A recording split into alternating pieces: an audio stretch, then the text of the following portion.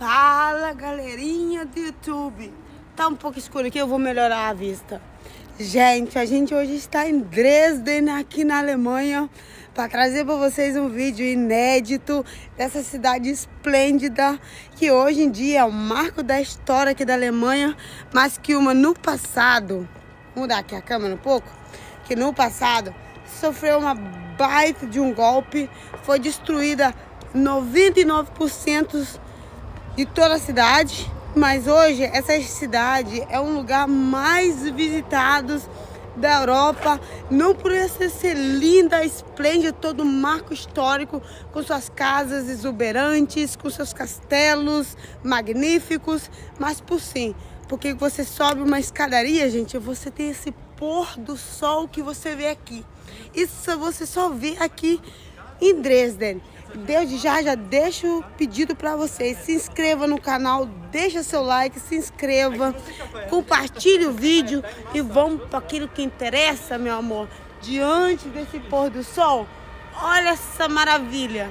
A gente está a gente tá na altura de uma escadaria, que hoje aqui é um marco de uma praça que todo mundo vem para sentar, mas gente, o que é icônico aqui não é isso não é que no, na subida dessa cidade, eu deixei para gravar esse vídeo no entardecer para vocês, para mostrar para vocês como o entardecer nessa cidade, porque essa cidade, gente, é maravilhosa de dia, é maravilhosa nublada, é maravilhosa de escura, mas quando chega a anoitecer, essa cidade se torna um marco. E não é à toa que todos os alemães falam que a melhor cidade para se conhecer na Alemanha é Dresden. Olha todo esse espetáculo. Aqui você tem um contraste com história, com arquitetura, com vintage, com a modernidade, com tudo que você pensar que é glamour, tudo que é luxo, você vê aqui. Ali a gente vê ao fundo o rio que atravessa a cidade, uma ponte famosa que todas as pessoas vão para ali, senta, tem umas cadeiras para sentar, para beber. Mas, gente, ali no fundo, que o sol, no fundo do sol tá a ópera. E aqui a gente que está aqui desfrutando um pouquinho desse maravilhoso lugar. Olha isso. A gente está mostrando para vocês a parte antiga. Tudo isso foi reconstruído. É um castelo colado atrás do outro. A gente hoje está mostrando o final do dia. Olha o pôr do sol maravilhoso para vocês. Aqui está o rio Olha as pilastras do rio, gente. Tem mais de 300 anos. Essa parte, essa parte de... Ao contrário de muitas pessoas que vêm aqui, esse na verdade é o rio Elba. Ele faz um contraste aqui em Dresden. Você vê no fundo um monte de navios. Ele faz sim deságua junto com o rio Rhein, gente, que é um dos maiores rios aqui da Alemanha. Mas nesse entardecer, eu não vou é, ficar grande muito vídeo, que eu quero mostrar pra você poucas coisas. vou gravar o lugar mais histórico.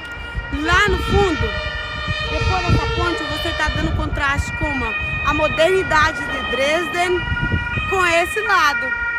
É o lado antigo de Dresden, que é o lado histórico, que é o lado onde você vê castelos um atrás do outro, que é um lugar icônico de se ver, é onde vem toda o todo o turismo aqui da Alemanha para se conhecer. Mas com esse entardecer, você vai ver como é que muda a cor do lago e um monte de navios que faz filas aqui pelo turismo.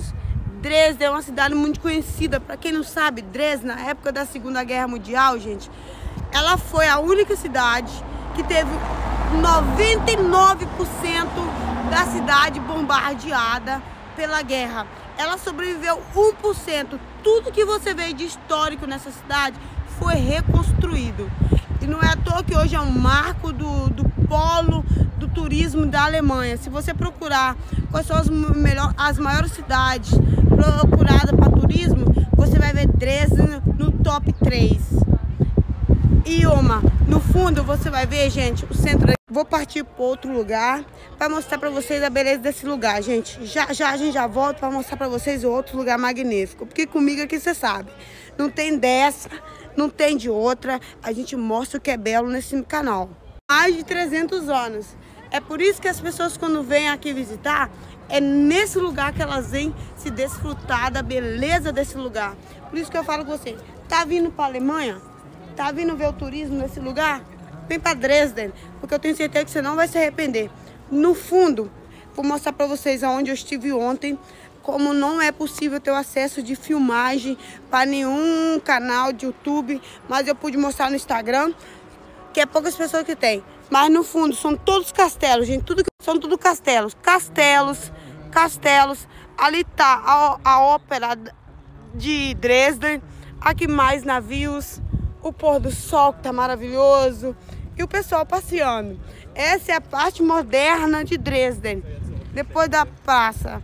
Mas a gente hoje vou mostrar para vocês a parte antiga de Dresden, que é a parte mais icônica, é a parte mais glamurosa de Dresden, aonde a gente pode observar, ver vários museus, várias é, catedrais, várias instituições, muitas são particulares, você não pode entrar, muitas são universidades, mais uma, aonde você anda aqui, você vê história nesse lugar. Olha, a gente está passeando, nada mais, nada menos, em cima de uma ponte, gente. É a ponte principal de Dresden. É um marco histórico, é um ponto turístico, onde todo mundo vem passear, passar tarde, conversar, bater papo, aonde os os cantores de rua, como tem lá um lá no fundo, você precisa ser registrado para você cantar aqui, onde as pessoas vêm. Aí você dá para ver aqui, nessa ponte, como a arquitetura dela é icônica. Isso aqui, gente, são marcos da história, olha. As pilastras, o design. Aqui embaixo tem uma, um túnel. Esse túnel aqui tem mais de 300 anos. Ali tá, tá vendo, ó ele foi, é, ele foi reconstruído em 2018. Mais uma, ali está o, o, rio, passando todas as cidades. O pôr do sol, como eu demonstra, eu falei para vocês como é lindo, maravilhoso. Alguns eu não vou filmar muito porque eu quero fazer um pequeno vídeo pro YouTube, mas demonstrar para vocês a beleza desse lugar. O que, de, o que deixa a gente mais hipnotizante é essa arquitetura vintage, marcada, que apesar do tempo, apesar da guerra, tudo ter destruído, eles reconstruindo tudo nessa cidade. Essa cidade sobreviveu 1% de 100%, gente. Tudo que você vê hoje de marco nessa história, ela foi reconstruída pedaços por pedaços. Porque quem estudou a história da Alemanha, como eu estudei há dois meses atrás, sabe que tudo isso aqui foi destruído. Tudo, tudo que você está vendo aqui foi destruído pela guerra, tudo. E tudo que hoje você está vendo está em pé na arquitetura moderna, na arquitetura medieval, ela foi reposta tijolo por tijolos. Ali está a grande ópera, a ópera mais famosa da Alemanha. Quem, quem me, é, me segue no Instagram viu mostrando para vocês por dentro, que não é permitido por pessoas por fora. Só quando essa, essa, esse da ópera, ela é aberta duas vezes por ano para ver o espetáculo. Você tem que comprar o ingresso, você só tem acesso a essa ópera se você compra o ingresso duas vezes por ano para entrar nela. É por isso que é um marco da história. Várias pessoas de vários lugares da Alemanha vêm para esse lugar simplesmente para visitar essa ópera, porque ela é a mais famosa da Alemanha.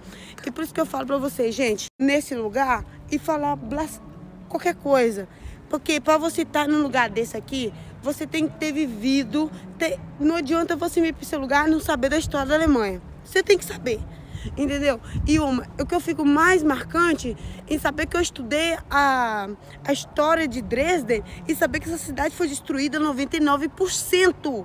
Não foi 90%. Essa, toda a Alemanha foi destruída 90%, mas essa cidade Simplesmente essa cidade foi destruída 99%. Vocês sabem o que é uma cidade inteira, gente? Mais, uma das cidades mais famosas da Alemanha. Sobreviver 1% e hoje ter essa arquitetura esse design. E, e quem sabe que eu mostrei lá no Instagram, a catedral principal, que vou mostrar, o, o vídeo vai terminar lá, vou mostrar pra vocês, sobre, é, sobreviver um pedaço do muro. Gente, são arquiteturas que eles restauraram, que fizeram marcas de ouro. É eu tenho que tirar o chapéu para as pessoas, porque uma quem estudou a história da Alemanha e vê tudo que eles construíram desde quando foi destruído até esse momento, é de tirar o chapéu. Por isso que vale a pena mostrar, vale a pena filmar e vale a pena falar desse histórico marco, porque é uma reconhecimento próprio. Agora, olha essa ponte de longe, gente. Essa é muito gratificante você ver isso. Agora eu vou andar mais um pouquinho para vocês aqui. Vou mostrar para vocês um dos castelos que uma a gravura no muro são os cavaleiros da época de medievais, que é maravilhosa e a gente se vê daqui a pouco, gente.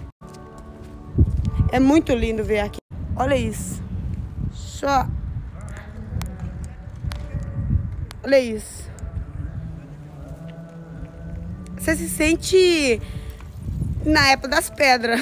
Eu, pelo menos, né? E, continuando pelo centro, que é o marco mais grande dessa cidade, gente. Agora, olha. Olha para vocês terem noção o que é uma restauração. Cada restauração aqui, gente, custou mais de 100 anos para ser restaurado. Para hoje chegar no marco que ela está. Olha isso. Eu não quero muito falar, porque palavras a gente joga ao vento. Mas olhares é o que marca no, a nossa vida. Porque que, já diz o ditado, né? Que nossos olhos é a janela da alma. Olha isso, gente. Tudo que vocês estão vendo aqui foi tudo reconstruído em 100 anos depois da guerra. Isso é. Eu não tenho palavras para dizer isso para vocês, mas até chegar onde o centro onde eu quero chegar para vocês, aqui está Frederic Augusto esse cara, nada mais nada menos, porque um grande marco da história na Alemanha. Porque esse cara lutou pela revolução, é um cara muito respeitado na Alemanha. Onde você vai em muitas cidades na Alemanha, tem uma estátua desse cara, ele em forma diferente. Tem ele cavalo, tem ele sentado no tribunal, como tem aqui. Tem outros, outras figuras dele, mas ele não deixa de ser um cara muito importante. Eu estudei história sobre ele, mas se não vem um caso que a gente não está estudando história. A gente está aqui para mostrar para vocês quais os lugares mais belos da Alemanha. E, homem, ali tá gravuras na parede, mais um castelo. Agora, esse aqui é um marco. Esse aqui é o grande castelo revanescense da Alemanha. A maior construção dele foi demarcar as figuras de todas as pessoas da monarquia importantes num quadro revanescense na gravura do lado de fora. Isso aqui dá para ver os cavaleiros da grande monarquia, tudo pro lado de fora. À noite aqui na, nessa calçada, muitas pessoas fazem peças de teatro popular na rua, demonstrando como foi importante essa revolução. Mas essas gravuras são as mais famosas aqui, porque param pessoas para tirar fotos, para pessoas estudiosas da, da história alemã, entendeu? Aqui você vê vários símbolos pequenos, são várias bandeiras, dos cavaleiros dessa época, uma, vale lembrar, quem tivesse um título de cavaleiro nessa época era monarca, era pessoa super importante, quem tinha esse título nessa época, né, gente?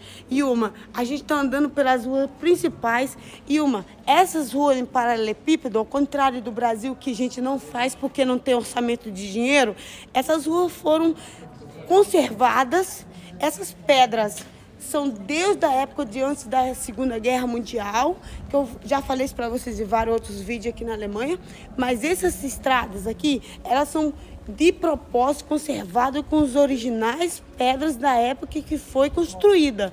Essas pedras têm mais de, de 700 anos e a originalidade delas, ó, alguém dando tchau aqui pro YouTube, gente originalidade delas, elas compõem o que elas são hoje. Hoje são um lugar super conservado, você não pode trafegar aqui como carro nessa aqui, porque ali você vê uma barreira, você não pode trafegar. As, as casas todas aqui foram reconstruídas, você dá para ver que elas são sinalizadas, são tombadas, tombadas, gente. São pedras de verdade, e uma, não são casas de tijolos, são pedras, pedras mesmo. Elas foram todas reconstruídas.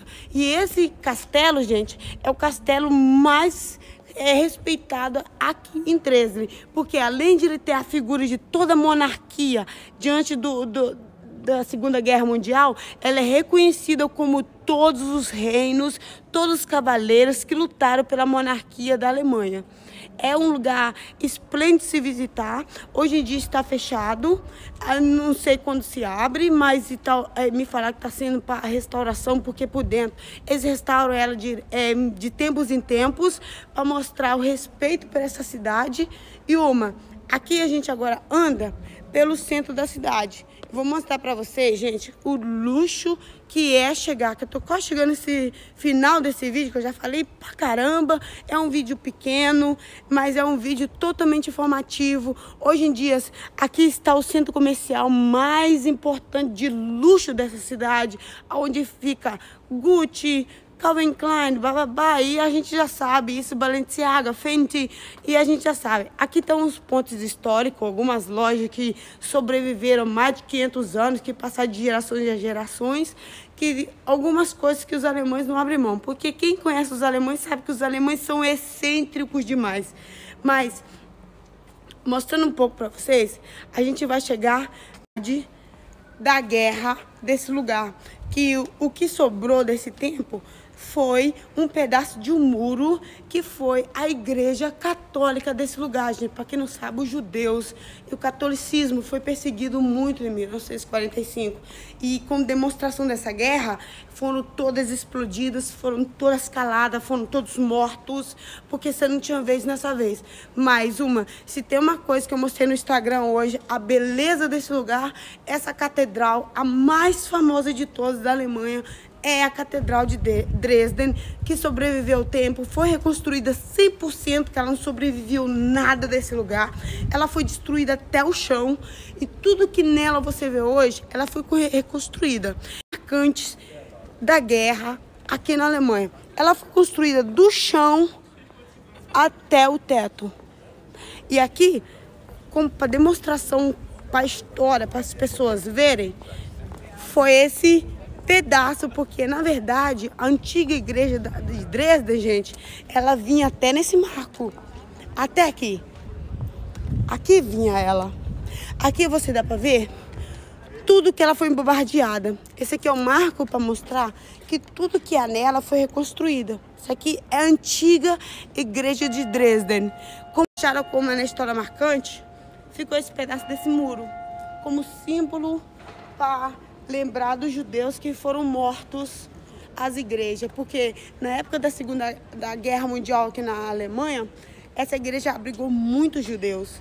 Então por isso que eles mandaram bomba, destruíram tudo. E hoje tudo que você vê dessa igreja foi tudo reconstruído.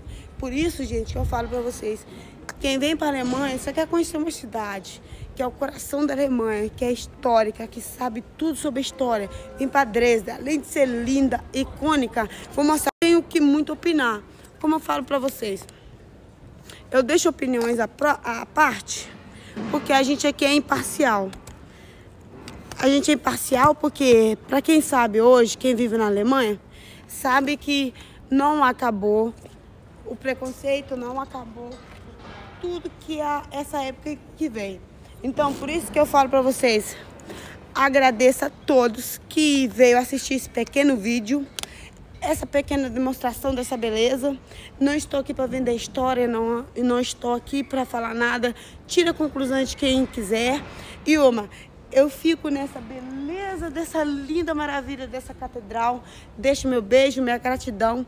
Peço para você se inscreva, deixe seu like, se inscreva aqui no canal, compartilhe com um amigo que queira muito ver aqui no YouTube. Gente, que Deus abençoe você hoje, Deus abençoe você amanhã e sempre.